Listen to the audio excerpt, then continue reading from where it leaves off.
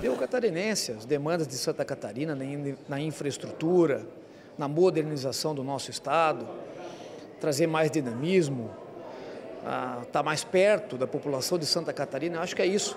Esse é um extrato que a gente pode tirar do eleitor catarinense, do que eles esperam, do que foi discutido no ano de 2022 nós estamos aqui para representá-los.